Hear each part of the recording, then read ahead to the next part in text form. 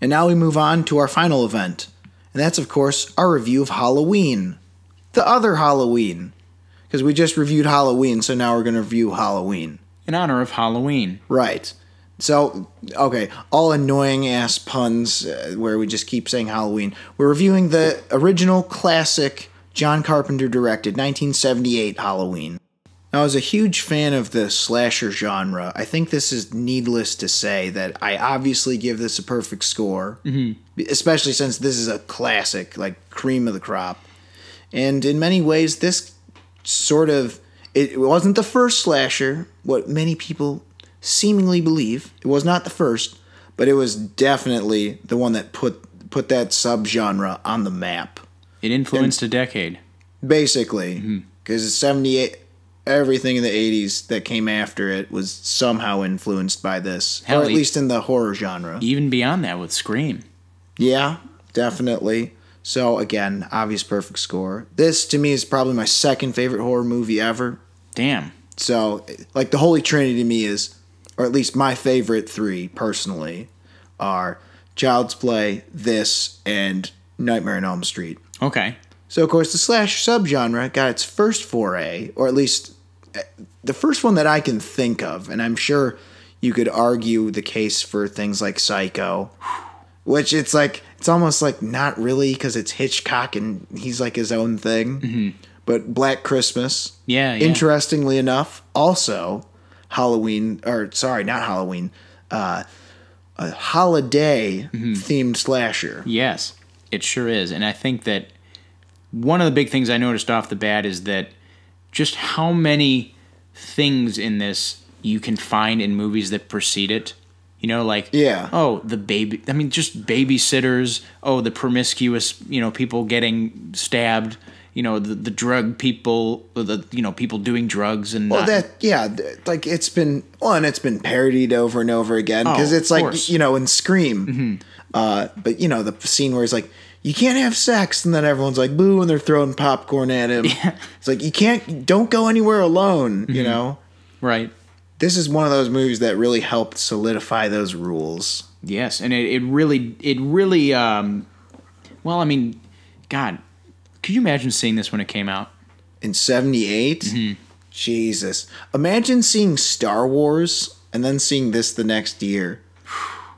Well Man. first of all how awesome would that be Secondly, just imagine it's like, wow, I didn't know movies could get this dark. Right.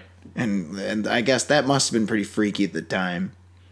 I think it's I think we might have mentioned this in the other Halloween review, but this movie, after watching it again, mm-hmm. as I revisit this every year, I mean, I remember it backwards and forwards, but I always pick up on new things. It's always fun to rewatch. Mm-hmm. And to me, what really stuck out was uh, what makes this scary is it's it's the what ifs. Mm-hmm. Well, what if there's this creepy ass guy in a mask, just like standing everywhere, stalking you? Yeah, making you think you're crazy. And especially as we mentioned on the other Halloween review, uh, the theme of it happening on Halloween. What a what a what a you know what worse a night for that to happen on. Oh, it's just kids playing pranks. Right, right. You know, the other, I love when the the gravestones you know, uh, Judith Myers gravestones. Go on, damn kids. Yeah. Geez. Why? I love it. Why do they do it? also, also that scene well done in the Rob Zombie remake. Sid mm-hmm. Haig. Goddamn kids! Don't think I got nothing better to do. yeah, I think the other thing that's super scary about this is just the randomness of yeah. this movie, and it's it's like well, depending on which Halloween canon, it's not so random, and that's where well, that's honestly where, and I haven't seen any of the other ones, but that's honestly where the franchise goes to shit. It's like, well, it's not random. Uh, you know, it's weird. I know a lot of people who are very purist about this being the end all be all, mm-hmm. just like sequels be damned, no matter what. I like four and five a lot. In fact, four is my second favorite. Are they as scary though?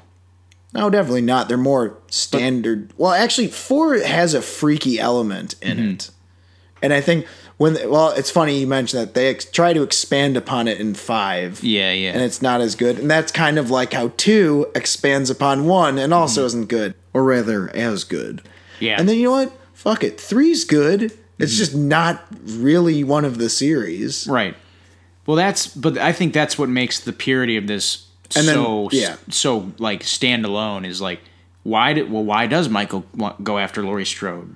Because it's like he just fucking can. He's the first one. She's the first one he sees. Why Haddonfield? Well, that's where he grew up. Yeah, and like she walks up, she walks up to his house, and, And he's that- there. yeah. She drops the keys into the mailbox or whatever. Exactly. And as as you know, uh, I'll, I'll put on my asshole beret, Filmzo Artso.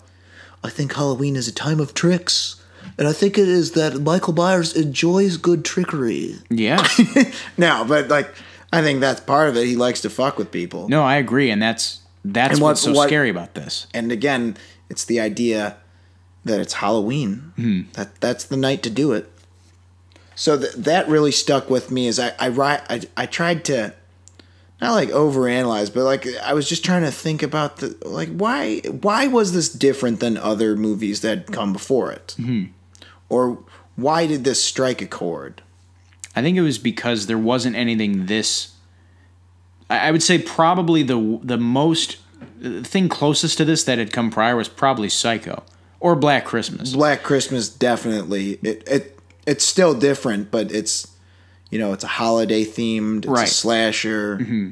I think maybe it. Well, I don't know. I'm not sure why that one didn't didn't take off as much as Halloween did. I don't know. It maybe probably didn't have the same marketing or anything. Yeah, that might be that might be actually because that came out '74. 74 hmm, Okay, yeah, that only made four million. That's pretty crazy. against what budget? six twenty thousand. Okay. Wait, so that cost twice as much as this? allegedly, yeah. Wow. Damn. There's something that's crazy is I just love that like Halloween has this original one has so many great fun dumb little factoids. Mm-hmm. Like they had three guys uh play Michael Myers at a time. Oh yeah, yeah. Well, it's like I met one of them at a convention. What's his Really? name? Nick Moran. Or fuck it. Nick Castle. No, sorry, not Nick Moran. Jesus Christ. It's uh Tony Moran. Oh, okay. Or hold on, look that shit up. Make sure I'm right. Well, let's see. Uh, I know Nick Castle's he's the main one. Will Will Sandin and Tony Moran and Nick Castle. Yeah, one of them I think he was like a producer. It was just for like one shot or something. Well, the one where he takes his his mask off, right? I think that was Tony Moran. Yeah. Anyway, it's just there's fun stuff like that. The mask itself, Mm-hmm. it's a William Shatner mask they painted white. Yeah, yeah. You know, it's, it's like how the hell would you have ever thought that that would work? Yeah, well, I think it's because it's the fact that it's hidden throughout the film. Like you really only like two thirds of the way through, you even know he's wearing a mask. Because like I mean, every, you, no, every- you can kind of tell in some of those shots. like some of them like, uh, but you see him from like afar, like Yeah, in his yeah. car, and you're like, what? Like that dude looks kind of weird. But then you're like, right. oh, he's like, why is that dude's skin so white? And you're like, oh shit, it's a mask, and he's he's it's just uh, it's even creepier, you know? All right, so let's pick up a full head of steam and go down the list. Yes, let's do it. Starting off, kills, body count. Three. What do you got? We got three kills. Uh, technically, we have a lot of off-screen ones in this. That's true. That's what's weird is, well, and technically four if you count Judith Myers. That's true. Yeah, we got That's what's also so fucked up about this movie. Is like from the get-go, it's like he did he started this Mm-hmm. what he's doing when he was six. yeah You know, sets a tone. sets the tone right away. But yeah, we got Judith It's Myers. kind of like sending your fourth line out to start a hockey game and just starting a line brawl. God. Kinda. You know, some sometimes you do that when you're the who was was it the Calgary Flames and the Vancouver Canucks. Yeah, this was like a couple years ago. I just I love a good excuse to bring up line brawls. So who else we got? Judith. We got Okay, that so truck Judith, mechanic guy, mechanic guy, and then Laurie's doggy. friends. Oh yeah, the doggy. doggy, uh, Annie, Mm-hmm. Linda, and Bob. I think his name is. Yeah, Bob. yeah. So let, let's go through them. You know, so Mm-hmm. Well, the Judith Judith Myers one's probably the worst one. Well, it's also the POV. Yeah. That just everything about that is just Wow, that must have been something to see on screen in theaters in '78. Actually, I take that back. Bob's might be the the, the worst slash best one because he Yeah. pins him to the fucking wall. That's that's what I'm saying. It's like you get it. Well, but also it's like the lead up to each one is so good because who's the first friend? It's Annie gets it first, right? Yeah. And it takes so long because I like how that scene fucks with you. Mm-hmm. You're like you even even though I've seen this movie a hundred times, I never remember the exact uh, how do you put it like choreography of how the scene plays out. Right, right. Like I always think, oh, this is where she gets. I'm like, oh no, that's right. She gets caught in the window. yep. And Michael is just like sitting there. He's like, "Oh, I'm I'm planning on something." Mm-hmm. Then he gets her eventually. Gets her in the car. yeah, He just like presses her face against the window and breaks her neck or whatever. yeah. Well, no, then he slits her throat, and you Oh. don't you don't, or I think that's what it was. Yeah, I thought I thought he just like choked her out. Whatever. It's like the kills are lo- obviously like the main comparison is the kills are not super brutal in terms of like graphic looking, Yeah, they're not very elaborate, but they happen. but they happen, and it's also And the lead up is elaborate. See, that's what I think is the difference between this and the new one. Mm-hmm. Is the the kills in this are obviously it, it's more about the lead up than it is the kill itself. Yeah, and it's about like the situation characters are in when they're getting killed more than just like you know, like you get killed like while you're starting your car. Like that's Yeah. a super vulnerable time. Or like Or while she's on the phone. Right, right. Or like while you're, you know, with your lover, you know, Yeah. like in bed, like that's fucked up. That's what I, I love. How for whatever reason Michael decides to do the sheet thing. Yeah, that's creepy. What's what makes that so creepy is that, that you're like with Bob's character is just kind of like a waist cased moron. Mm-hmm. Like you could see him doing that, thinking he's funny. Right, right. And that's a that's why that works so well. It is. It is a creepy sight. Yeah. Then PJ Soles. Mm-hmm. First of all, uh, what the fuck is her name in the fucking? You ever seen that Ramones movie, No, Rock and Roll High School? no, She's in it. Oh man, really. That- one of the worst movies I've ever seen, but it's it, it's so good. It's a Roger Corman movie, right? I think. Probably. Yeah. No, but I think he got sick. Whoever the director was, he got like sick and like dropped from exhaustion. Someone had to step in. I think for the last couple weeks. Jesus. Yeah. Yeah, Alan So- Arkush. Yeah. So get some kills. And obviously I think Bob's might be the best. Yeah, He it literally pins him to the wall. Yeah. That's where you're like, this is not just some dude Mm-hmm. who's escaped a mental. institution. This guy's fucking strong and creepy and crazy. Oh yeah. Now we get to the characters slash the acting. Mm-hmm. Now the acting, it's like it's not the best from everyone, but Yeah. we've got some obvious standouts. Oh, well, Donald Pleasence, man. Right, Donald Pleasence, build 1st Mm-hmm. Introducing. introducing Jamie Lee Curtis. Every time I see that, I'm like, wow, that's That is so weird. crazy. Yeah. So, and that was the other thing is I think her character is a little more developed, and you know, she she's part of that. Uh, what what do you call it? The final girl trope and all that shit. She's a scream queen, man. Yeah. She is the scream queen. But I like how they had her smoking smoking the pot. You know, Yeah. just just just she's a Girl Scout. It doesn't mean she's perfect. She's a good person, but you know, she's not a she's not a she's not a prude. Yeah, she's You know, not. She's not. She can she can party if you will. That's why I thought the dialogue is so funny when uh, Annie, who's who's sort of like, she's so sardonic when she says the thing like, "Great," uh, I, I thought that line, "Great, I got three choices. Like, listen to you guys screw around, babysit, or like talk to you." Right. There's a lot of dialogue. Again, that's one thing I picked up watching this another time is the dialogue sharp. Yeah it has to do with the characters.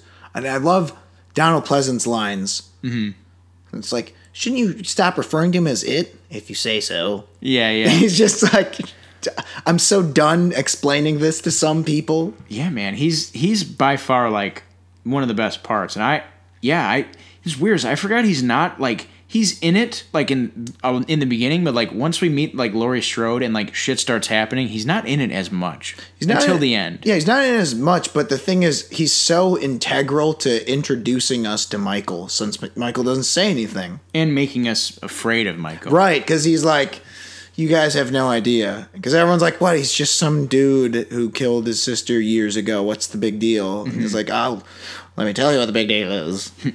Death has come to your little town. Yeah, it's just like great lines like that. And of course, let's not forget his best line of all time. Hey, Lonnie. Get your ass away from there. That shit always gives me a good larf. oh man. A good, good larf. Yeah, man. That's a good fucking scene. Uh, let's see. So we went through that. The story. We've talked a little bit about it. Yeah, the randomness of it again for me is like why I think it scared people so much is like holy shit this is just happening to some girl because she was in the wrong place at the wrong time. Right. And it develops in a very natural way, like especially the Halloween stuff. Like uh what's her name goes to the laundry room to get her stuff. She gets stuck. Oh no, we think something's going to happen. Nothing does. What's going to happen next? Oh, she's got to go to her car and get some. Then, then she gets That- killed. so that's what I'm saying is they give you a, a couple stutter steps. Yeah, it feels like you're reading like the Wikipedia synopsis for like a famous murder. You're like, Yeah, she it- went to the car. She went to the laundry room, then went back. Like, Yeah. what's his name didn't attack. Then he went to the car, and then she got killed there. Yeah, it's it's It's like- it's creepy stuff. yeah, it feels very real. What I think is also like like underrated about how creepy it is is Laurie is so sure she's seeing shit, and she just she doesn't want to believe to herself like I'm not seeing this right. But like I feel like deep down she knows she saw what she saw. Yeah, yeah, for sure. She's super. Well, her character learns a lot in this. Yeah. you could say, and I think Jamie Lee Curtis, in her first film role, pretty much, she does a good job. Mm-hmm. I mean, like she plays scared very well. Like when stuff is actually going down, like when she's, you know, running around the house, like banging on people's doors and stuff. You actually feel like she's freaked out. Right. I you know it's one of my favorite parts is when she throws the fucking pot at the window. Yeah, yeah. That whole scene is one of my favorites because I love how it's just like, what's that called when it's like one of the characters has the information, the other doesn't. It's like dramatic irony or Right. whatever. It's like Tommy's like, oh, okay. She's like, open the fucking door. like, come on, this dude's after me. right, right. Also, I like how she immediately flips on the survivor switch because she, she's a smart cookie, as they point out. Mm-hmm. Yeah. Because like, what's it? PJ Soles' character, she's kind of like a, kind of like a, you know, a ditz. Mm-hmm. She's like, oh, I always forget my book. It's one of my favorite trail off ADR lines. Oh, I don't need my Spanish book, my French book, my bio book. I don't need any book. She just keeps babbling about that, and then the score's like, ding, ding, ding, ding. like while you're just looking off in the distance, she's just talking about all the shit she doesn't study. Yeah, man. That score too. Also, yeah, It's let's iconic. talk about how good this score is. Mm-hmm. A simple five-four melody. Yeah, and you're gonna remember it. Like if you're in 1978 and you see this, oh man, that's gonna be on your mind. Like Oh, it's driving e- home. It's an easy one to hum. Oh, yeah. I mean, it's iconic. And little do people know they're doing it something in a very interesting time signature. Man, they don't even know it. They're Yeah. getting a little education in music theory. Right. You know what kind of blew my mind, and I thought about it this time around, is the synth kind of worked in a way I think that maybe they weren't expecting. Mm-hmm. Because listening this time around, I'm like, I feel like this was meant to be an orchestral score of some kind, or at least like a you know small string section or something. And they just didn't have the resources. Yeah, they just didn't have the resources, so they just figured, fuck it, we'll just do it this way, and it kind of worked out to the better. My favorite are the synth hits. Yeah. Like whenever something happens, you hear like, yeah, yeah, like, like. Uh, when he just like Michael shows somewhere. up. Yeah, yeah. Oh, shows great. up around the corner. Ah, it's so a new fight, a new challenger has arrived. It's like a Pokemon game. no, I was thinking Street Fighter. Oh, I was thinking of. Michael uses slash. There'd be a scary. it's super effective. God, fuck. That, that'd be an interesting uh, movie. No, actually, that'd be terrible. An eight-bit movie. An eight Eight-bit bit. Halloween movie. Well, they do that shit online, like the eight bit trailer. Or Oh, yeah, like no, the- there's a few of those. Yeah. Okay. The other element that we got to address Well, here, uh, I just want to talk just a little bit more about that score. music. Yeah. Well, my favorite is the. I mean, everyone talks about the fucking, you know, the main theme, but I love the theme of just them walking through the neighborhood. Oh, the yeah. See that. Dun, dun, dun. Yeah, yeah. It's great, like Act One oh, music of a horror movie. Yeah, that's the thing is the music. It's it's sort of. I mean, obviously, it, like every score is supposed to do this, but this hmm. does a particularly good job of intensifying as things get more intense. Mm-hmm. for sure.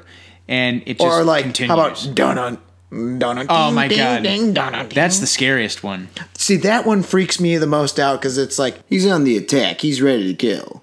You know, it, it's like It's already happened once, and you're fucking next. And he's like moving fast. Like that's when Yeah. you really freak out. Like everybody knows Michael Myers can carry. He can fucking make some ground when he's moving slow.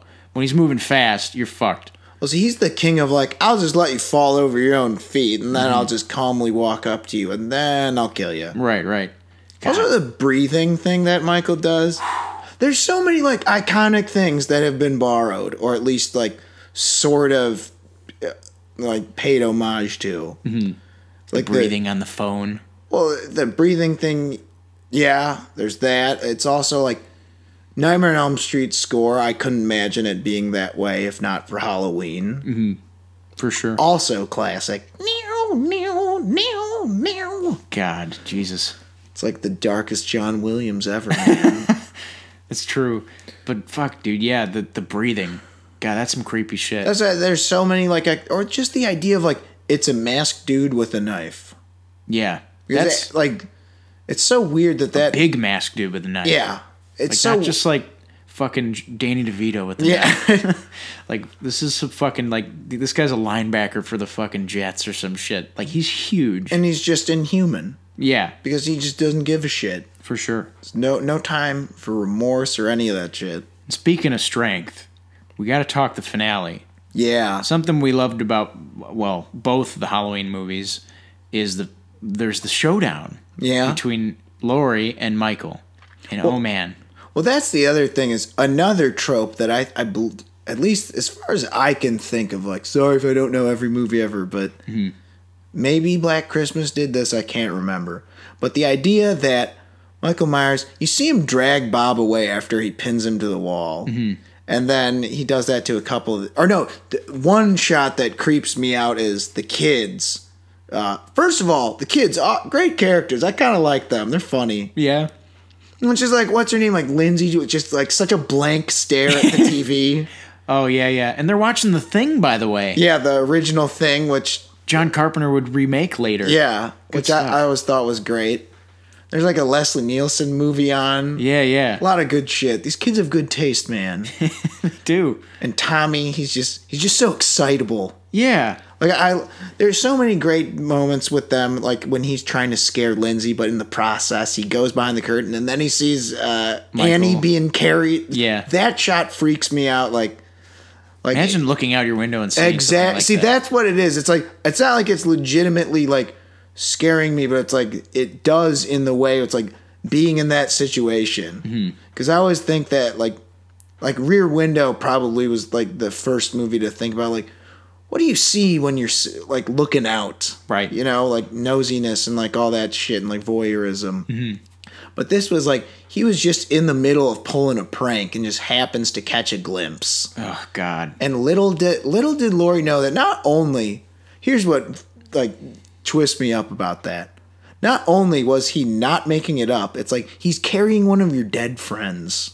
Like Not that's only- what's crazy about yeah, that. Not only is the boogeyman real, he's coming for you, and he's already got some of your some of your closest people. yeah, he, he's pissed and he's coming. God, he's gonna Uh, make a display of all of your friends. Right. A nice tableau. So that's the thing, the House of Horrors. Yeah, yeah. She goes in, up, dead body, up, dead body.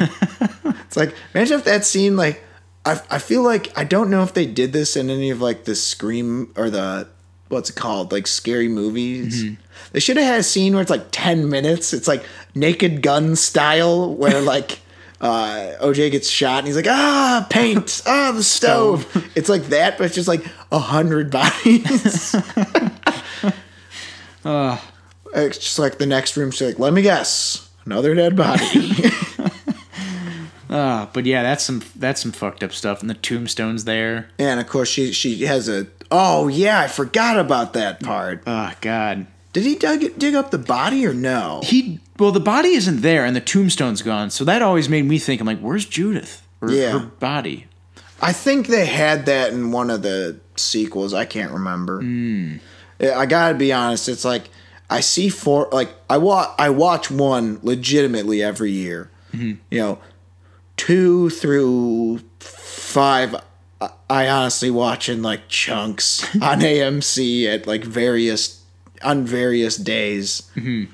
Uh, it's been a while since I've seen really any of them besides four from like start to finish, where I could tell you what happens like for sure. Okay. And honestly, like to this day, I think I've only seen uh, six, which is the one that everyone hates. That one I've only seen maybe less than three times. Really? Start to finish, I know I've only seen it that many times. Which one's the Paul Rudd one? I always ask this question. Five. That's Ah. five, man. Is six Resurrection?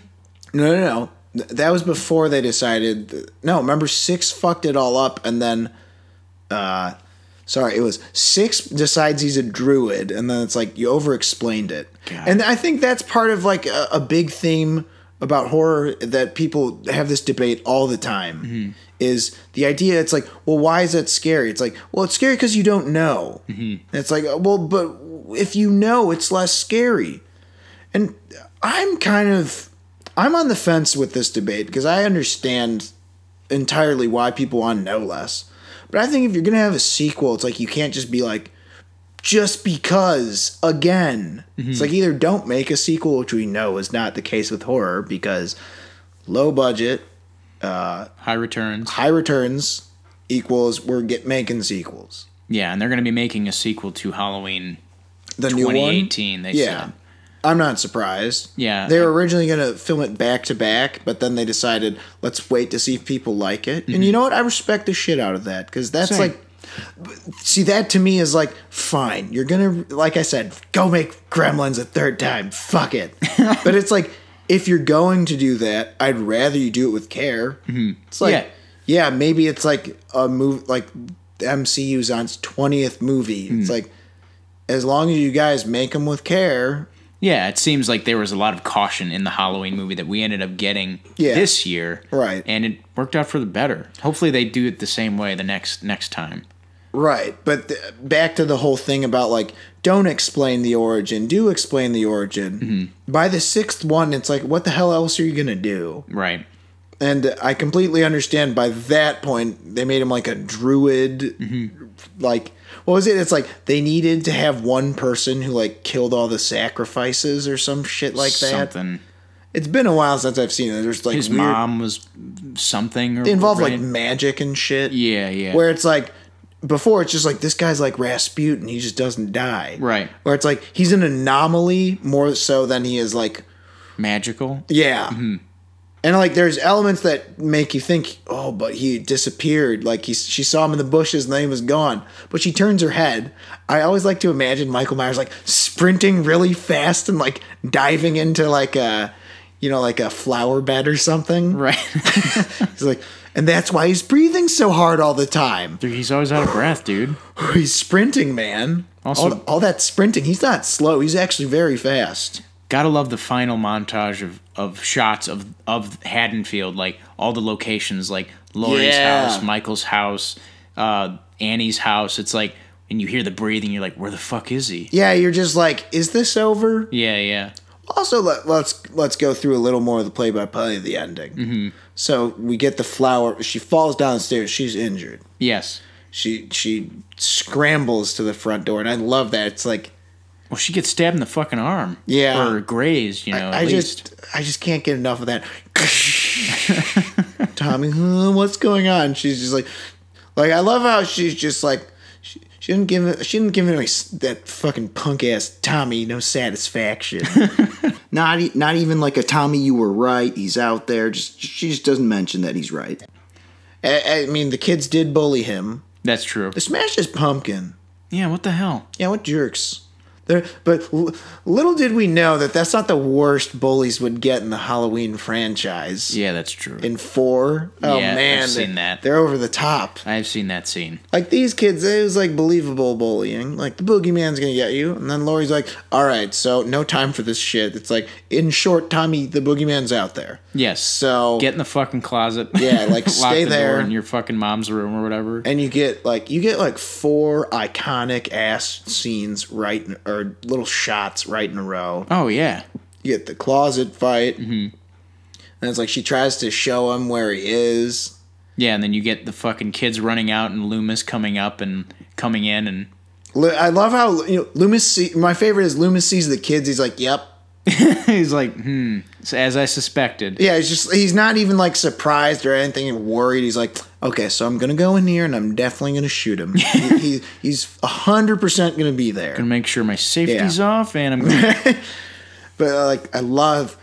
I can't get enough of that. Like, sit up, turn head. Oh yeah, it's perfect. That's what it is. It's like the robotic movement. It's just so representative of Michael Myers and his. It represents his inhumanity. Yes. Is, is he part machine? his lack of his depersonalization.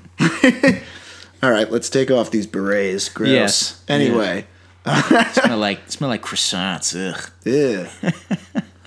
but it's you get so many of those right in a row. The closet scene is just so freaky. Yeah, and then of course you get Loomis shooting Michael, and then him not being there. Yeah, see, that's that's the best thing they could have done. Mm-hmm. I think that's part of the problem with movies and endings is if there's anything open ended at all, especially now, mm-hmm.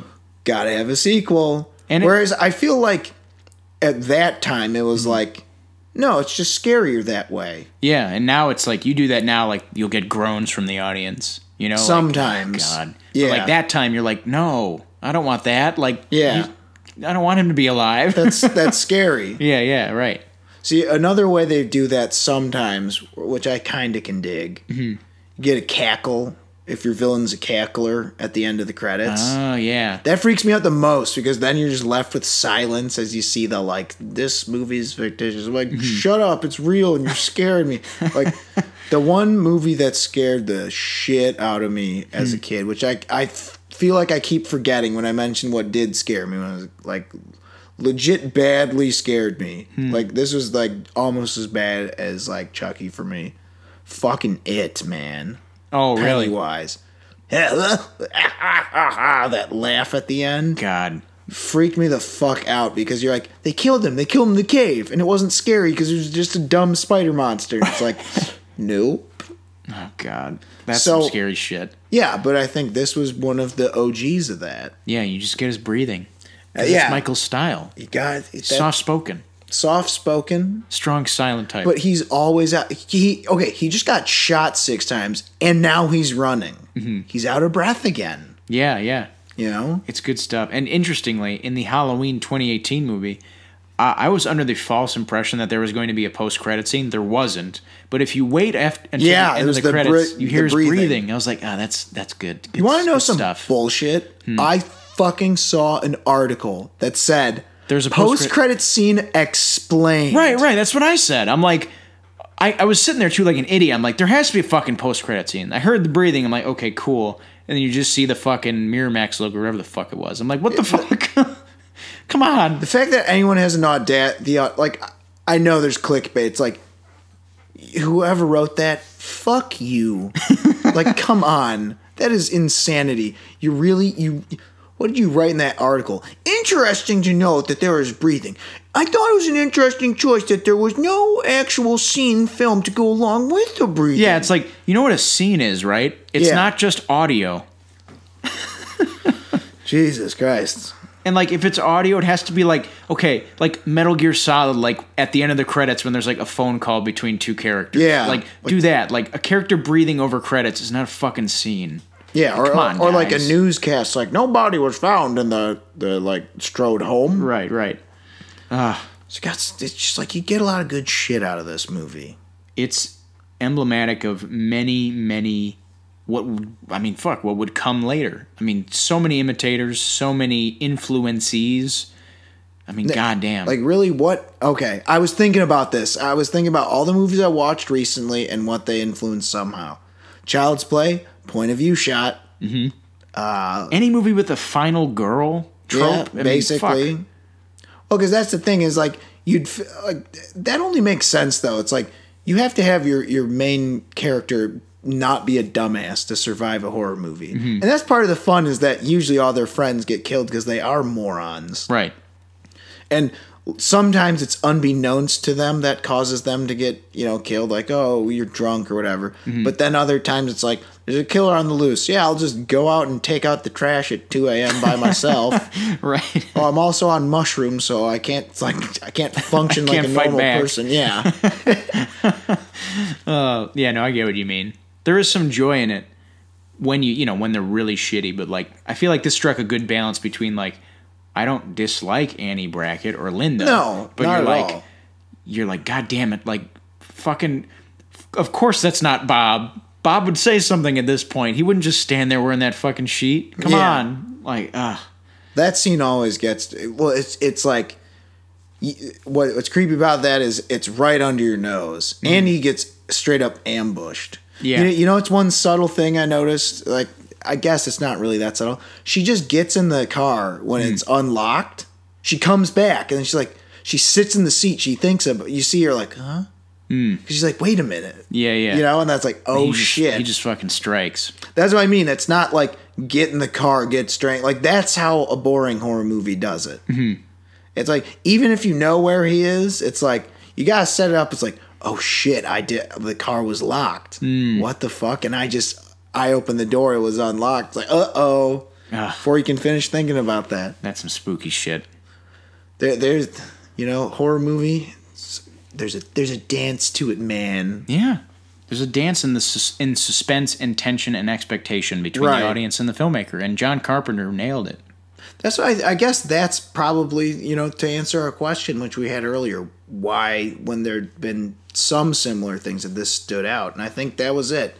It's that it's not like a guy in a mask killing people is like the end all be all of this. It's how hmm. everything came together. It was the execution. Execution is where it counts, man. So if you didn't mind us ruining the whole movie by discussing it at length, we suggest you watch Halloween if you haven't seen it. Or maybe you have seen it. It's a good time of year, obviously, to rewatch it and revisit this timeless classic horror movie.